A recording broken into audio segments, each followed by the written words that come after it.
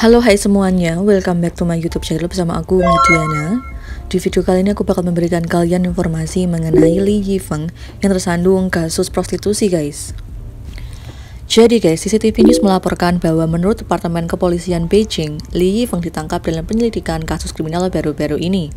Aktor itu guys mengaku meminta pelacur beberapa kali dan saat ini udah ditahan.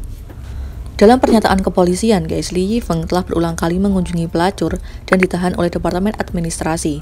Polisi Beijing juga mengatakan bahwa baru-baru ini mereka sedang menyelidiki kasus kriminal dan selama penyelidikan, aktor Li Momo, nama samaran, umur 35 tahun, udah ditangkap.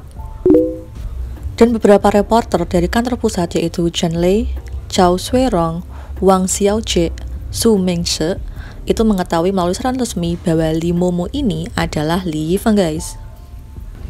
Dan tak hanya itu guys, beberapa merek terkenal seperti Prada, Panerai, Look Fog, Cheng Li, Nim Chiom, Honma, dan banyak lagi udah mengumumkan penghentian kolaborasi mereka dengan Li Yifeng.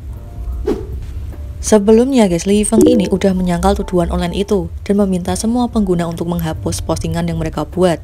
Dia juga mengatakan bahwa dia akan mengambil tindakan hukum terhadap semua postingan yang memfitnahnya.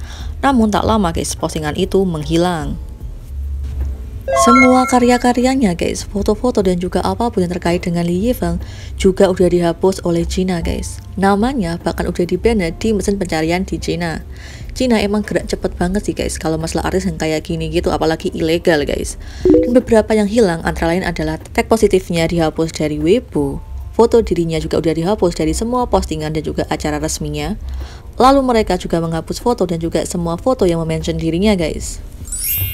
Lalu guys, rumor berkembang di Cina yaitu Li Yifeng katanya udah punya anak guys.